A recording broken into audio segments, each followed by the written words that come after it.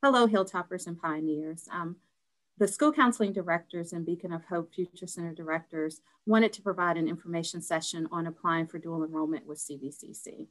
Before we get started with the information session, it's important for you to know who will be presenting this information to you. I am Tracy Miller-Good, Director School Counselor of EC Glass Proud Hilltoppers. Hey, I'm Sarada Hester, Counseling Director at Heritage High School, proud, proud Director of Heritage High Pioneers. Hey, I'm Miss V, and I'm the EC Glass Future Center Director for Lynchburg Beacon of Hope. I'm Dennis Cohen. I'm the Future Center Director at Heritage High School for Lynchburg Beacon of Hope. And I'm Ledra McQueen, and I work with Beacon of Hope on the Office of College Success side. I'm Rachel Madigan, and I also work um, with Beacon of Hope and the Office of College Success, mainly site director at CVCC. Thank you. So for today's session, we are going to give you an overview of the dual enrollment process. First, for dual enrollment, uh, dual enrollment courses or programs are programs where students not only, only earn high school credit, they also can earn college credit. So the first process for all dual enrollment courses or programs is that students have to complete their CVCC application. So that is the first step in the program. For other programs such as early college, uh, Central Virginia Gov School, as well as STEM Academy, the first step is students have to apply to CVCC but there is an additional application that students have to fill out for those specific programs. Um, so uh, for the dual enrollment classes and the CTE, these are programs that students can take at their local high schools. Um, but for now, we're just gonna go over the process of what it looks like when students submit or apply for admission to CVCC. So for the dual enrollment programs, we have certain career and technical education uh, programs and classes through Lynchburg City Schools in which students can earn credit towards their diploma requirements as well as college credit. You also have for the Central Virginia Governor School Program where students take certain dual enrollment courses depending on the curriculum that they are taking through Gov School. For dual enrollment, at EC Glass or Heritage High School, these are courses where students do not have to travel. They take classes with teachers that are certified or who are adjunct professors with the community college. For the early college program, this is also dual enrollment. Uh, this is a program students have to apply to. And for this program, if accepted, they will take all of their classes at the community college. And the classes are the curriculum was adopted so that students would be satisfying their di diploma requirements as well as courses for the general studies program at CVCC. And then for the STEM Academy, this is another opportunity for our students to take classes at uh, CVCC and then they will return to their base school for afternoon courses and take their core classes towards their high school diploma. As I mentioned before, and you will probably hear throughout this presentation, is that all dual enrollment students must apply. If you are applying for a dual enrollment course, we cannot allow you to remain in the class if you have not submitted the admissions requirements to CVCC, which requires that you complete the application this part of the video, we're going to go step by step through the CVCC application. Um, this video is intended for you to pause it as needed um, and answer any of the questions um, that we're going through. So be sure to reference this video, feel free to pause, um, and we'll help you step by step to complete your CVCC application. So step number one is to go to centralvirginia.edu. When you uh, go to this website, you will be prompted with this screen and you will click apply now at the top of the screen. On the next page, you will click apply now yet again. And then it will take you to the next play, page where you will hit apply now just one more time. On this screen, you do not yet have a username or password if you have not applied to CVCC yet. So you're going to select create an account. Make sure that you are patient on this page as it's loading. Don't refresh the page, just wait um, until it gets you to the next screen. So on this page, you will complete your first and last name as well as a telephone number so that you can receive messages. Make sure when you type in your email that you do not use your LCS email account. Make sure to use a personal email account. If you don't yet have one, just go to Google and create a quick professional email that you'll use to apply to multiple colleges beyond CVCC. On this page, you will create your username and password. Be sure to write down what you have created. Um, you will be using this username and password to complete your CVCC application. So let's say you need to take a moment to pause. Something comes up. Your mom calls you, your dad calls you, or you have some homework to finish in the middle of doing this application. You can pause it. You'll use that username and uh, username and password to log back in and to complete your um, application at a later time. Um, you'll also be prompted with a email validation code. So make sure you go to your personal email that you use to create the account, check that email, and then type in that validation code. And then you will click submit and you will officially be able to start the CVCC application. Now that you have created your username and password just for the application in case you need to get back into it, this next section is um, the actual application process. Um, at any time, if you receive an error S message, it could mean that you've already applied or something um, is not quite right. Just go check with your counselor. They can help you out. We can figure out what's going on. So if anytime you receive that error message or it says something about you already have an application on file, just go ask your counselor and we'll figure it out. Um, the first step of the application is basically putting your name and um, your personal information. When you are filling out the application, make sure that you are writing your name professionally, which uses a capital letter at the beginning of your name and lowercase letters at the end. Um, mainly being that this application is going to follow you throughout your time at CVCC. Um, so it's just a good, it's a good way to start. The next section will ask you for your birthday and social security number. It's extremely important that you put in your social security number. If you don't know it, um, you are free to save and submit what you have or save and go get that social security number. You actually can continue on the application if needed, and you can actually come back. Um, the reason being is if you do not put your social security number in the application um, as before you actually submit it to the school, you will have um, a few delays and a couple extra parts of the process in order to become a student at CVCC. So make sure that you do not skip this and you put in your social security number and confirm your social security number. And remember, at any time, you can save and continue later. This next section is um, just asking some personal information that you can fill out. Please make sure you fill out all of the questions. Next, it's gonna ask you how they can best communicate with you. You're going to input the address that you are currently living at. It will ask you for the same or another mailing address.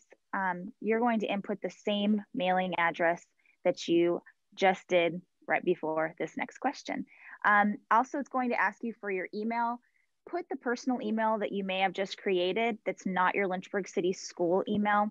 And the reason being is that um, after you graduate, your email from Lynchburg City Schools will not work. And so we want to make sure that you're able to be contacted um, at any point after you graduate if needed. Then it's going to ask you for your telephone number. Please put a current number where CVCC can reach you. Um, this is really important. If it happens to change, um, you will, you know, you can let CVCC know that. Um, but being able to contact you is going to be really important at times. So just make sure you put in a number that is working currently. Um, and again, make sure that you add the correct phone number and select I agree and reviewed um, the guidelines. Save and continue. This next section is just wanting to know a little bit about your education. Right now, you are currently a high school student. Um, after you select this, you're going to be asked to enter in your high school. If you go to EC Glass, the easiest thing to do is enter in capital G L A S S for glass, and it and um, your school will show up and you can highlight and select it. Sometimes it can be tricky. So if you don't see your high school, again, go to a counselor, um, go to your future center, and they can help you with that. Heritage is a little bit easier. If you type in heritage, it will come up right away and you select that high school. And it's going to ask you about your completion date, and it's going to be May of your graduation year. This last section for this part of the application is going to ask you about your program of study. You um, do not plan to earn a degree or certificate from Central Virginia Community College. So you're going to answer no. And then um, it will ask you one question and you are going to select dual enrollment. And it will prompt you to answer that question. And then it says, um, I plan to start, and you're going to start in the fall of the following school year. And again, press save and continue. And at the very bottom, I'm sorry, it's going to ask you a few questions and you are going to select, I'm taking classes through my high school to receive high school credit and college credit. All right, in this section here, you're asked about military service that you or your parents have.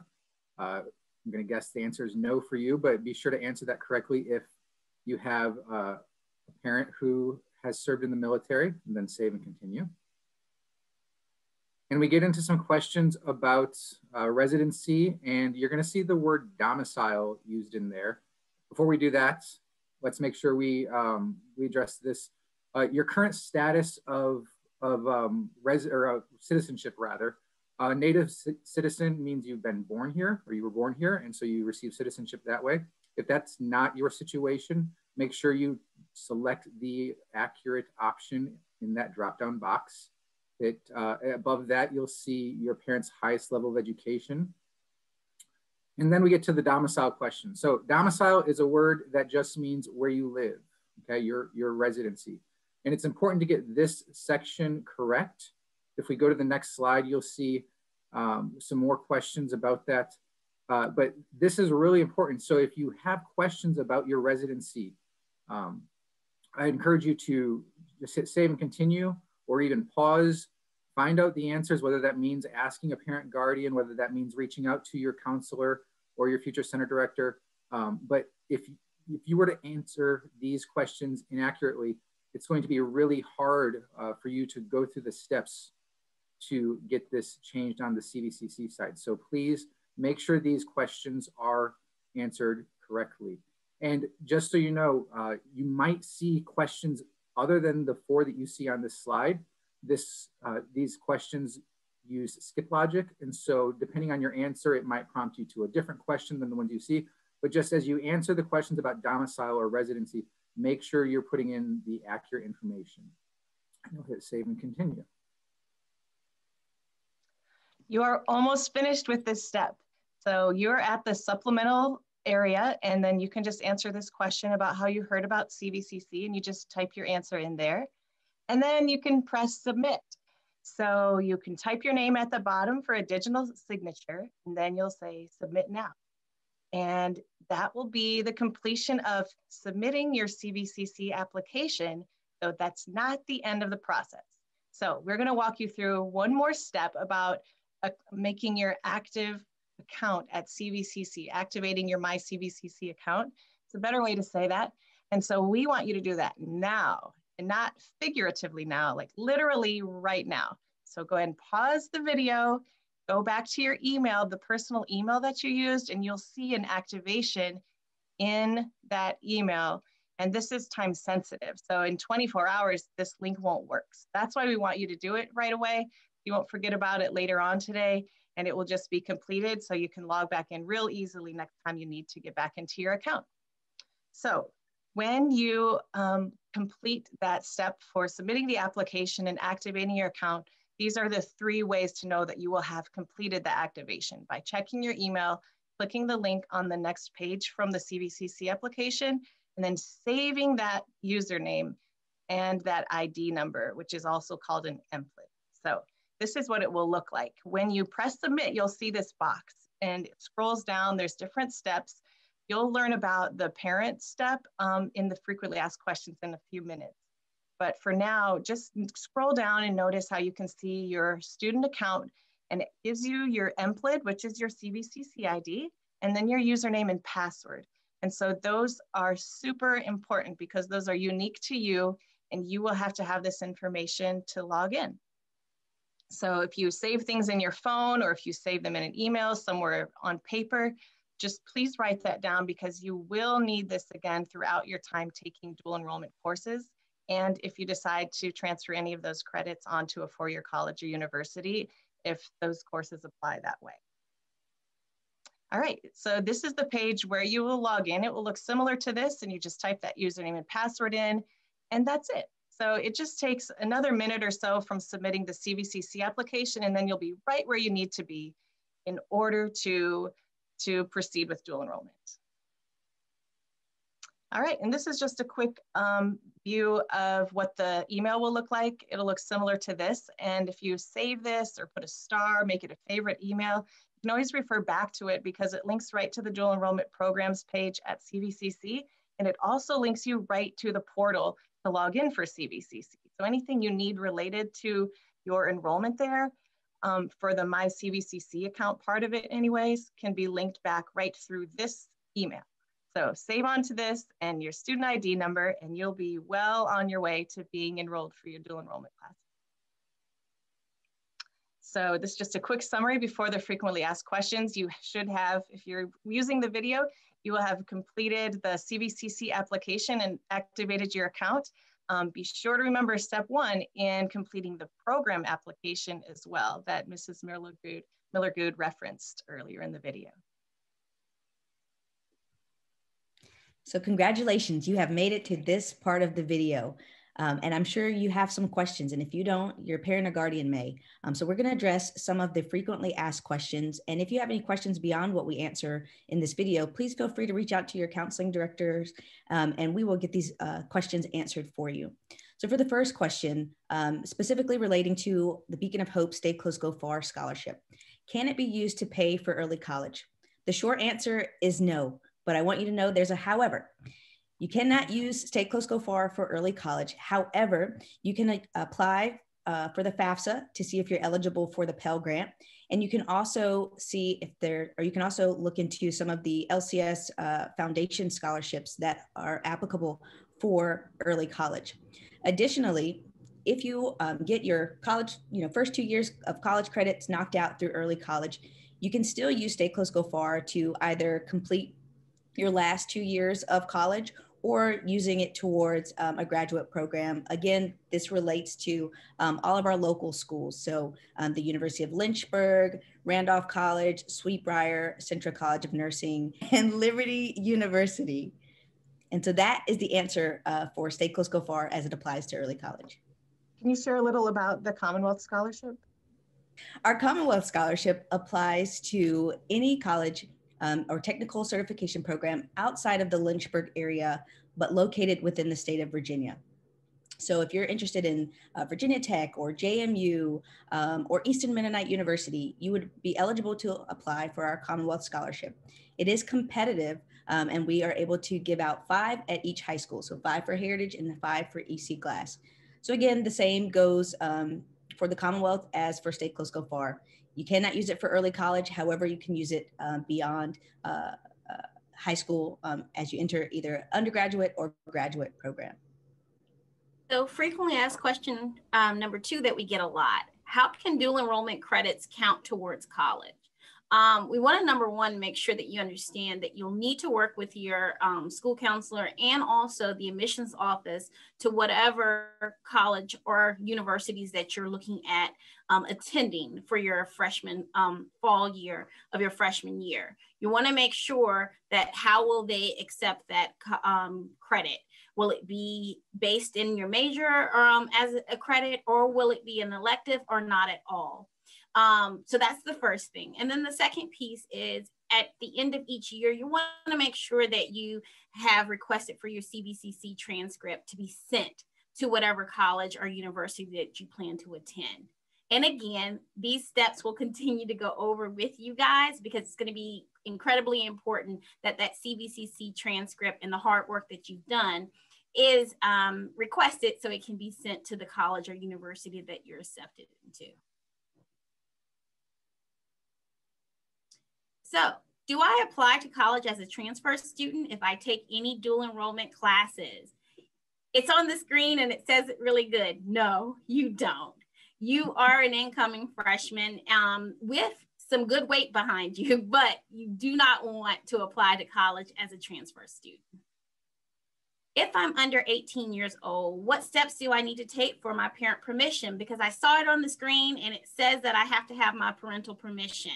Don't worry, you guys will work with your school counselors and we will make sure that you have that dual enrollment parental permission form provided to you. And that is each year that you're taking a dual enrollment course and under the age of 18. Where do I go for more information about GovSchool, early college program, or the STEM Academy? We have you covered please make sure that you go to your prospective high school, whether it's the Hilltoppers or the Pioneers website on the counseling page, and you can find a very thorough information sheet that also gives you live links and dates for all of those programs in regards to the application process. And if that's not enough, then schedule a Zoom meeting with your school counselors. You will see that all of us use Calendly and you can get a appointment so that way we can walk you through and make sure that you're secure and that you feel confident in going to any of those programs um, and answering any questions.